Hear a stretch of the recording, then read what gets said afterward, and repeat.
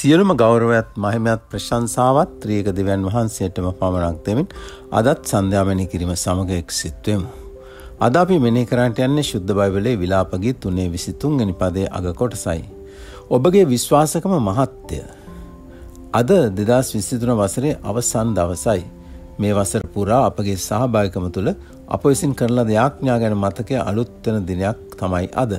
අපගේ ඇදිලිවන්තයන්ගේ සහ ඔවුන්ගේ පවුල්ලන සිදුවුණු මරණ රැකයා අහිමීම් පවුල්තර සිදුවුණු අසමාධානයන් ආදය ගැන අපි එක්ව දුක්වුණා. නමුත් යහපත් ලෙස වෙනස් කන ලැබවාව සිත් සහ සුවකනු ලැබවාව පෞද්ගලික සම්බන්තා ආදිය තුළ අපි දෙවන් වහන්සගේ අනුග්‍රහය අත්දැක්කා. අපි ඇදිලිවන්තයන්ගේ විවිධ ජයග්‍රහණ විවාහයන් දරුවන් කැපකිරීම් ආදිය සැමරුවා.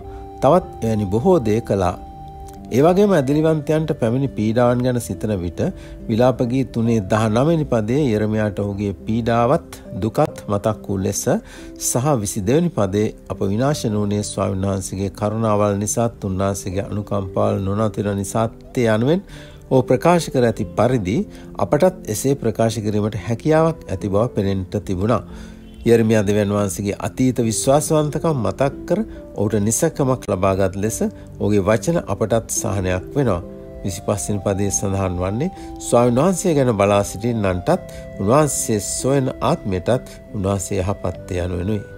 අද රාත්‍රී අපගේ සභායකම තුළ එක් එක් කෙනා නියෝජනය කරන්න දෙවියන් වහන්සේගේ ජීවිත වෙනස් කිරීමේ ප්‍රේමේ ප්‍රකාශනයකුයි. ඉදිරියේදී එන්නා වූ වසරවල අපට කුමකට මුණදීමට සිදුවනත් කිස්සුස් වහන්සේගේ ශරීර නැමති සභාවේ අවයවයන් ලෙස අපට දෙවියන් වහන්සේ කරේ විශ්වාසය තැබිය හැකි.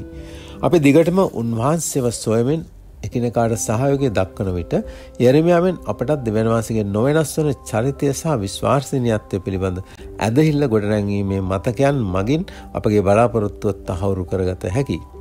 අපි මෙනෙහි කරමු. අපි නවවසර දෙස බලන විට දෙවියන් වහන්සේ සෑමවිටම විශ්වාසවන්තව සිටි බවත් උන්වහන්සේ අනාගතයේද සෑමවිටම විශ්වාසව සිටින බවත් විශ්වාස කරමු. අපි ආඥා කරනු ප්‍රේමණීය දෙවියන් වහන්සේ ඔබවහන්සේගේ සදාකාලික විශ්වාසවන්තකම තුළ අපගේ බලාපොරොත්තුව සුරක්ෂිතව පවතින බව සාතික කිරීමට අපගේ අතීතය භාවිතා කළ මැනව. ආමෙන්.